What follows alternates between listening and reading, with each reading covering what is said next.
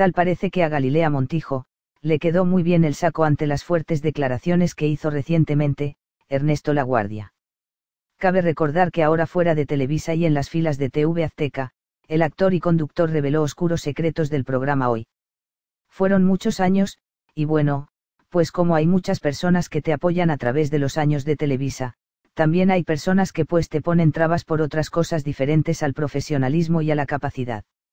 Hay muchas cosas que no quisiera revivir, pero bueno, las amistades, como decía mi papá, se cuentan con los dedos de una mano.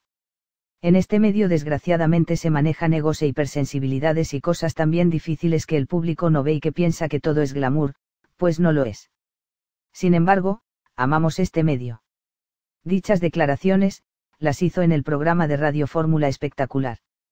Quien supuestamente no se quedó callada ante las palabras de su ex compañero de hoy, fue Galilea Montijo. En la columna Alfombra Roja de El Universal, aseguran que Gali se burló de cruel manera de Ernesto Laguardia. Ahora que Ernesto Laguardia reveló que hubo situaciones no muy agradables cuando estuvo en Televisa, Galilea Montijo, quien compartió con él en el programa hoy, negó que hubiera rivalidad con su compañero y con una carcajada, explicó, pues no nos quedaban los mismos vestidos entonces o porque nos íbamos a pelear, por el rímel.